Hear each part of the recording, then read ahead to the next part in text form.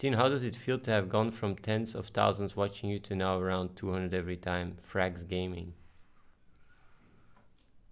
Well, since all my self value and self worth worth is, is tied to the view counter on Twitch, obviously I feel like uh, 50 times less valuable.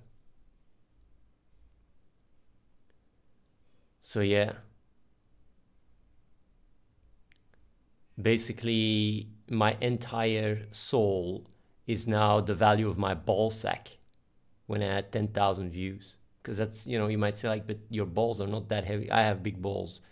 So basically i've just become my own ball sack